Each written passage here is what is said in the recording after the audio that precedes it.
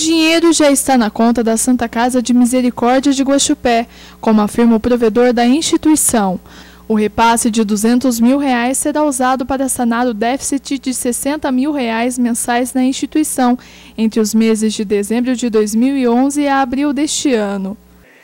Esse recurso é, foi um recurso que a gente conseguiu é, por intermédio de alguns políticos de Guaxupé, de outras pessoas que sempre nos ajudaram e que, junto comigo, desde meados do ano passado, a gente procura conversar na Secretaria de Saúde do Estado a respeito de um déficit que o hospital vem, sendo, vem sofrendo desde meados de 2009. Segundo o provedor do hospital, o maior problema está nos custos com as internações do SUS.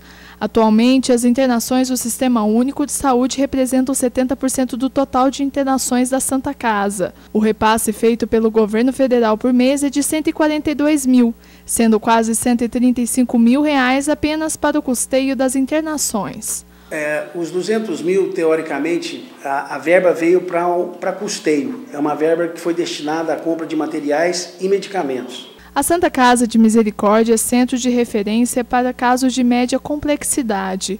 O hospital atende pacientes de oito cidades além de Guaxupé.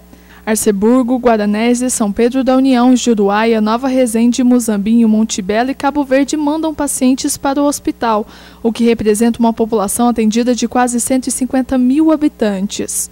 As cidades atendidas pela Santa Casa possuem uma cota de internações. Se esta cota é ultrapassada, o hospital recebe pelo atendimento através de uma câmara de compensação.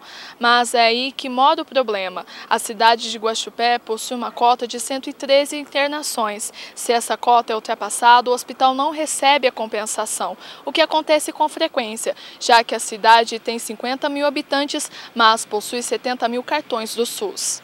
Para o provedor, a solução é que os valores repassados pela autorização de internações hospitalar sejam reajustados pelo SUS.